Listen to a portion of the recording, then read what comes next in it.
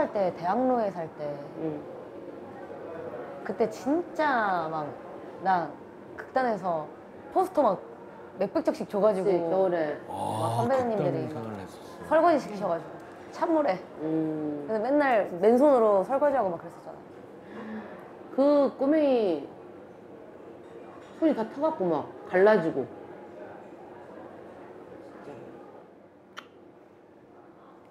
추억이지 추억. 에이구. 그래. 아, 지금 잘 됐으니까 나는 얼마나 뿌듯하겠냐?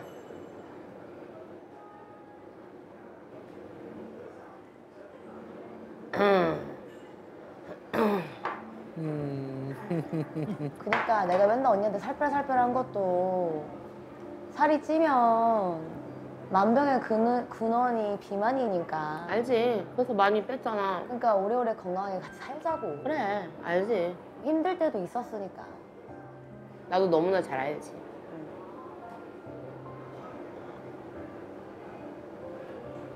언니 내 뒷바라지 하면서 후회했던 적 있어? 아니, 나 진짜 그것도 말고 한 번도. 그냥 같이 사는 거지, 가족이니까. 이거 뒷바라지라고도 생각해 본 적이 없는데, 나는. 동생이니까.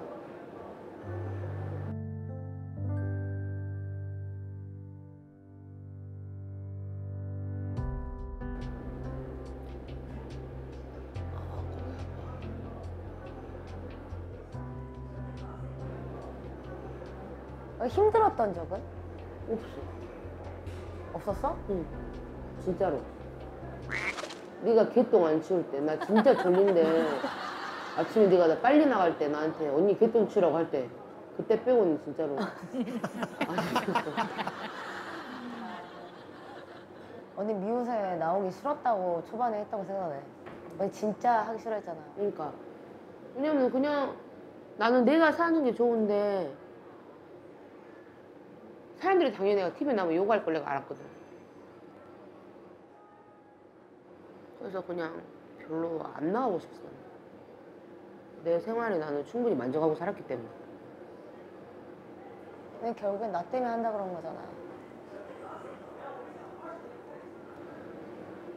그래서 막 언니가 욕먹을 때 괜히 아, 나 때문에 괜히 욕먹는 건가? 막 이러면서 나 계속 미안하단 말이야 언니한테 아니야. 이거 미안해. 나는 그래서 사람들이 우리 사이를 막 잘 모르고 그냥 언니라는 사람을 잘 모르는 상태에서 언니 욕을 할 때가 난 제일 속상하긴 하더라고.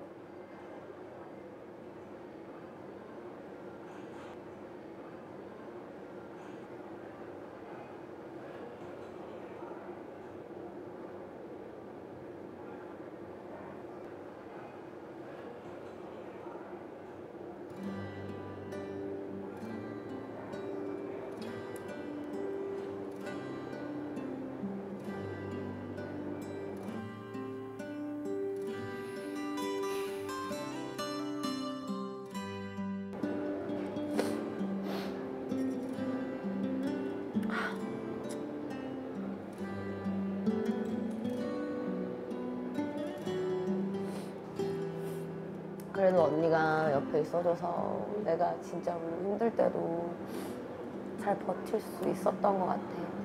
에이, 뭐. 서로 옆에서 도와주고 만약에 생각해주고 그러니까 언니가 뭐. 없었으면 나 진짜 우울증 걸렸을 거야.